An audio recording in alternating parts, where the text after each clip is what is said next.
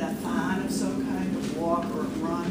So you could have it where people would, would have to look at something and know what to do. Take the right path if you only want to walk, you know, another two blocks. Take the left path if you can still keep going.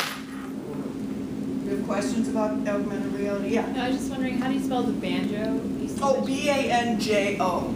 It's banjo.com. It's banjo dot, no, it's, no, it's B-A-N dot J-O. Yeah, otherwise, oh, I'm could search for banjo and you'll just find like banjos. So a lot of those, that's what's happening with a lot of those apps. They'll take a word like banjo and instead of com, J-O is probably the country code for some, I don't know what J-O is the country code for, but, you know, so they'll B-A-N dot J-O. All right, um, let's go.